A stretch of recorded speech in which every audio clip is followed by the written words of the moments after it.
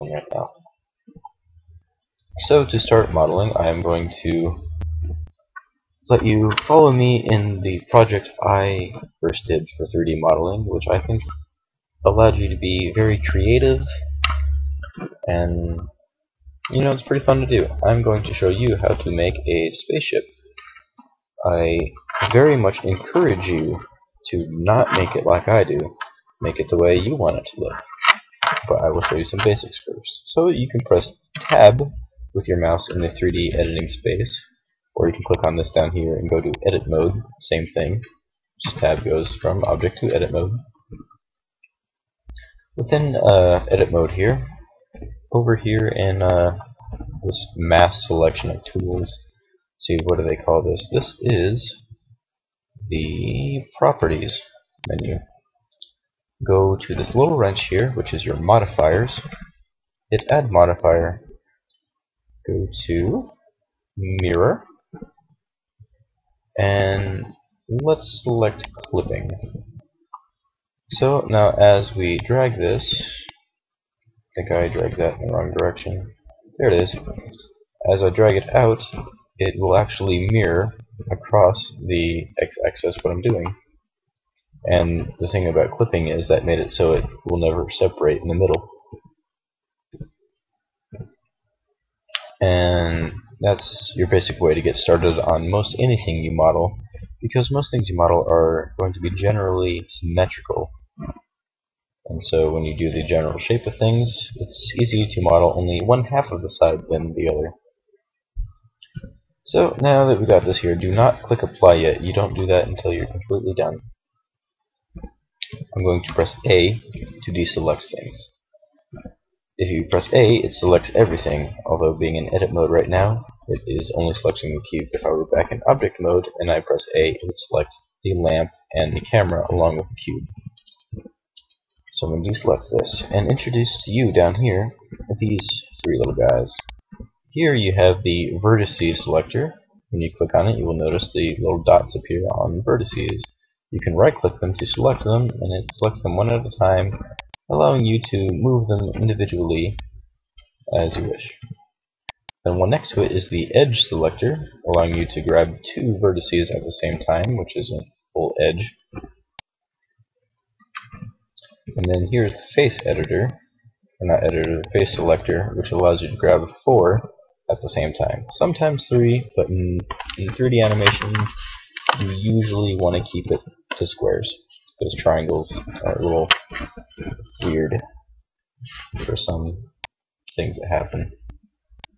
So, to show you the basics of making our spaceship, I need to introduce to you one more shortcut key. And if you're taking notes of this, which is a great idea, actually I'm starting my own little notebook to, for reference purposes, because there's going to be a lot that I'm going to be doing. So, the uh, shortcut I'm telling you here is also in the D form over here, which is ed edge slide or edge loop. I don't like clicking on it over there, it's too complicated. With your mouse over the object you're wanting to select, you hit Control R. You'll see this little purple square has popped up within the object, and as I move it around I can choose where it is going to be selecting on the object. Let's say I want it to go this way. And click just like that. Or what I can do is say click and actually drag this back and forth to get it where I want. I believe you can press the space bar. Nope, that didn't work. There is some sort of button that puts it back in the middle. I believe would be okay I don't remember. So you can go ahead and do that and click there to get it in the middle. And you have now bisected what you are editing. Another thing you can do is when the purple square is up you can scroll up on the mouse and make several bisections. Of course I don't think it would be called a bisection. This would be like a trisecting and then quadsecting and then pentasecting, septing, oct octosecting. Anyway, you can do a lot of these. Why you would want to do so many, I uh, do not know. We only want one for the purposes that we're using. Well, sometimes two and what that would be good. I'm just babbling. So, with this area uh, bisected, I can go ahead and grab, say, this face, and introduce to you the next very important shortcut key in Blender, is the letter E for extrude. You can hit E and then pull it out, make more. Always very helpful. You can actually go inside the object too. So I'm going to make my spaceship longer, just like that. I could have scaled it, would have been probably better. Nah, that I'd have to undo everything. And so once you have uh, extruded, you can also grab, rotate, and scale. So what happens if I do rotate? Mix this. Yeah, let's go with that. Be as creative as you wish while doing this. So let's make a back. Pull this out. Possibly scale down. Move this up. About like that. Then just continue to add edge loops where you feel needed. I'll grab that one right there, grab this, pull this out, make this small. I said small, not big. Start out here. Small, just like that. Go up, down. I liked it in the center. Going to bisect the spaceship. No, I'm not going to bisect the spaceship. Grab this face up here, extrude this out, make it small, pull it out this way, maybe like rotate it or something. Let's come up to the nose of my spaceship, uh, bisect it here, up there, and then here grab the face selector, grab this, and let's pull this in, and then rotate. No, I did not want There we go. Rotate that for some sort of crazy windshield looking thing. Now we're getting somewhere. I'm going to shoot this out a bit, make small. There we go. Let's see, I'm going to select the windshield again and make it smaller. Because it's still protruding out right there. If I want to fix that, I can go ahead and grab this vertex selector and, you know, just push that in, just like that. Go back to face selector and let's go on the back here. And let's say I grab yeah, let's, let's do this. Let's do extrude scale. I'll go to just like that. And then push this inwards, and I now have little turbines in the back. What else do I want to do? Wings! Why not?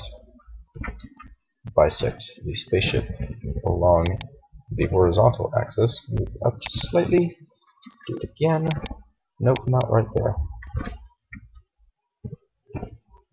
Right about there go ahead and grab the face selector again. Grab this one, extend it out. Grab this, it down. Let's uh, extrude this. Yeah, make it smaller. That's looking pretty sweet. What else do we want to add? I want to actually grab this section here, pull this up slightly,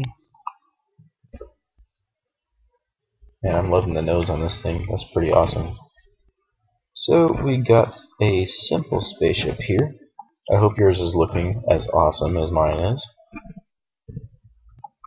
Let's make it so that the spaceship can actually fold up if it were wanting to, so, you know. Mm, no, that's too ugly. But if this section wanted to fold over, it's available. Let's see, let's add some turbines. You can be as creative as you want, make it as decorative as you want. Seriously, have fun with it. I mean, it's your creation. You don't have to go to the store and like buy clay like I do for some of my other creations. You can just make as much as you want, however you want, when you want. Making some turbines here. To go back here and scale it up. And then extrude, scale, and extrude again. Pull that back there. Something like that. Now I got these sweet fan-looking turbines. Oh yeah. But you know what else it needs? I think it need I think it needs some dogfighting machine guns on the front. I don't care if bullets do not work in space. Mine will. Because it's my spaceship. This way. Just keep adding edge loops where you need them. Grab this section here. Actually, I'm going to grab both these sections by holding down shift. Extrude that inwards. Grab this one and pull it back out. This is going to be the base of my gun here. Oh wait, before I do that.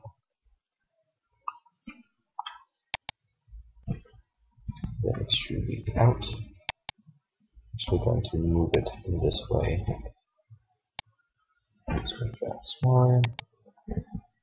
And let's give some more detail on these guns. They don't need to be dumb little squares.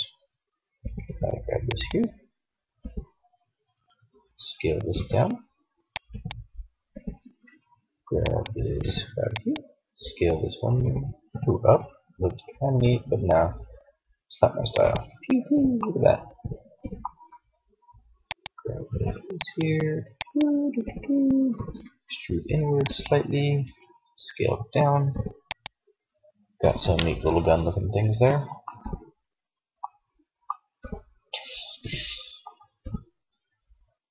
What else might we want? Hmm. I think my spaceship is nearing completion. Landing gear, possibly? No, it, it'll be something that hovers. grab this one and this one, scale it like this, extrude in, and scale it down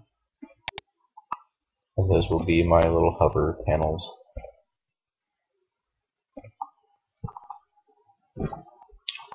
And now what I can do, now that I'm done, let's press tab and go back into object mode and take a look at my masterpiece. We still don't have to hit apply over here, I don't think we ever really need to. There's our spaceship. Coloring the spaceship is uh, kind of complicated, and we do not need to worry about that right now. Let's see. I guess I can show you a way, but you can't be nearly accurate enough. And you won't even really be able to see it, so let's not do that right now. So, there's a spaceship. I can grab it, move it, scale it randomly if I want, like large. That is kind of cool, but no. And so to wrap up the ending of how to model within Blender, I am going to show you how to do a simple animation with it, such as the spaceship.